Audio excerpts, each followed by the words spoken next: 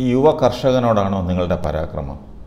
മണ്ണിനോട് പടവെട്ടി അത്താഴത്തിന് വക കണ്ടെത്തുന്ന യുവ കർഷകന്റെ വാഴത്തോട്ടം വെട്ടി നശിപ്പിക്കാൻ ഇലക്ട്രിസിറ്റി ബോർഡുകാർക്ക് എങ്ങനെ മനസ്സ് വന്നു? ഹൈടെൻഷൻ ലൈനിന് കീഴിൽ കൃഷി ചെയ്തിരുന്ന വാരപ്പെട്ടി ഇളങ്ങവം കാവുംപുറത്ത് അനീഷിന്റെ കുലച്ചതും കുലയ്ക്കാത്തതുമായ നാനൂറ്റി ആറ് വാഴകളാണ് ഇലക്ട്രിസിറ്റി ജീവനക്കാർ കഴിഞ്ഞ ദിവസം വെട്ടി നശിപ്പിച്ചത്.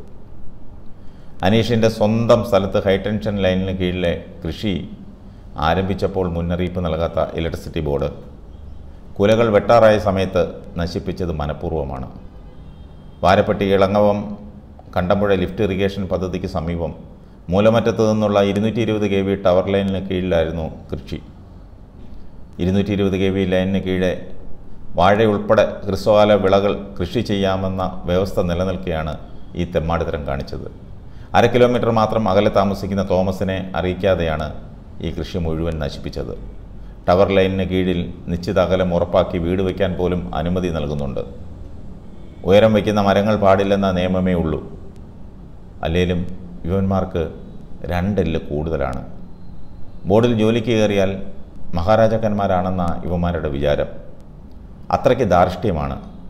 ഒരു നോട്ടീസ് പോലും കൊടുക്കാതെ വാഴത്തോട്ടം വെട്ടി നശിപ്പിച്ച ഇവന്മാരുടെ കയ്യിൽ നിന്ന് വേണം അതിന് നഷ്ടപരിഹാരം ഈടാക്കാൻ. മൂലമറ്റത്ത് നിന്നെത്തിയ സംഘമാണ് വാഴകൾ വെട്ടിമാറ്റിയത്. തോട്ടത്തിലെ വാഴകളിലൊന്ന് ലൈനിൽ മുട്ടിയത് മൂലം ലൈനിൽ തകരാറുണ്ടായെന്നാണ് ഇവന്മാർ പറയുന്നത്.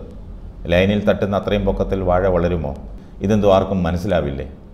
ഓണവിപണി ലക്ഷ്യമിട്ട് കൃഷി ഇറക്കിയ ഈ കർഷകന് ലക്ഷങ്ങളുടെ നഷ്ടമാണ് ഉണ്ടായത് കേരളത്തിലെ വൈദ്യുതി മന്ത്രി ഒരു കൃഷിക്കാരൻ കൂടിയാണെന്നാണ് വൈപ്പ്.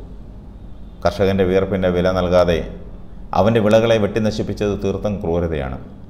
ഈ സ്ഥലത്ത് വാഴ കൃഷി ചെയ്യാൻ പാടില്ല എങ്കിൽ നേരത്തെ തന്നെ ഇലക്ട്രിസിറ്റി ബോർഡ് ഇടപെടേണ്ടതായിരുന്നു.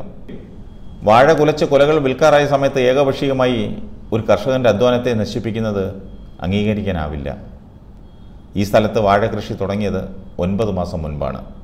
ദിവസങ്ങൾക്കകം വെട്ടി വിൽക്കാൻ പാകമായ കുലകളാണ് വെട്ടി നശിപ്പിച്ചതെന്ന് തോമസിന്റെ മകൻ അനീഷ് പറഞ്ഞു. തോമസും മകൻ അനീഷും ചേർന്നാണ് കൃഷി നടത്തിയിരുന്നത്. കഴിഞ്ഞ വെള്ളിയാഴ്ച ഉച്ചയ്ക്ക് ശേഷമാണ് വാഴകൾ വെട്ടിയത്. രണ്ടര ഏക്കറിൽ ആയിരത്തി അറുന്നൂറ് ഏത്തവാഴകളാണുള്ളത്. അതിൽ അര ഏക്കറിലെ വാഴകളാണ് വെട്ടി നശിപ്പിച്ചത്. നാല് ലക്ഷം രൂപയുടെ നഷ്ടവുമുണ്ട്.